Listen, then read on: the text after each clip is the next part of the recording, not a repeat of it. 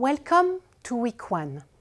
In this first week, we will seek to provide answers to one key question Why shall we value freedom of expression and information? In a global context such as ours, characterized by many challenges to freedom of expression, from government, armed group, churches, society, it is particularly important to understand why it matters and why we need to protect it in order to respond to those that are so keen to control, stifle, and silence. If we are going to accept some forms of limitation to free speech, and most individuals and society do understand the need for some limitation, we have to understand why free speech matters and why it is good for the individual and for society. So, why should freedom of expression be valued?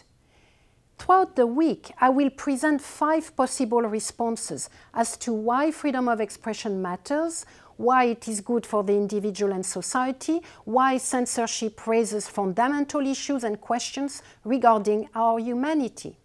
I will draw on the work of political theorists, but also economists and lawyers.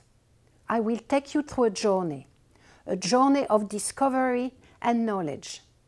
Because discovery and knowledge of oneself, of others, of the world are key to understanding why we should value freedom of expression and why we should be skeptical of any claims made around the necessity of censorship. I will begin the journey of discovery with the self, the individual, you, I. And we will then move to the society, the collective, the social good, us.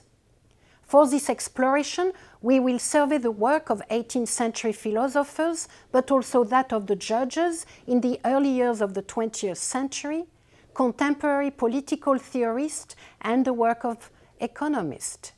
We will then link these theoretical and philosophical arguments to more recent international political development, demonstrating the constant relevance and importance of the values and principles first debated several centuries ago.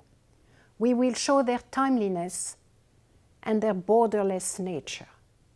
So let's begin.